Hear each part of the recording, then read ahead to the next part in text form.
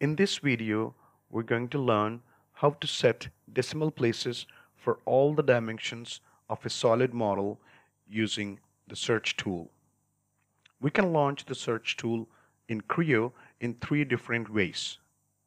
We can either select the binoculars icon available in the lower left area or switch to Tools tab and then click on the Find button. Alternatively, we can use the keyboard shortcut Control F on your keyboard to launch the search tool. Once the search tool is open, set the look for field to dimension and look by field to dimension. Switch to the history tab and then set the rule to all.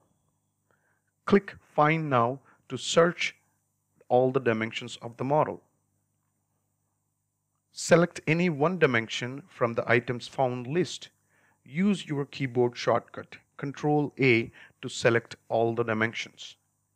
Use the double arrow push button in the middle to transfer all the found items to the selected items list.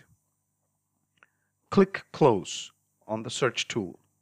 Observe how all the dimensions are selected and highlighted on screen and the number of dimensions selected is displayed next to the binocular icon.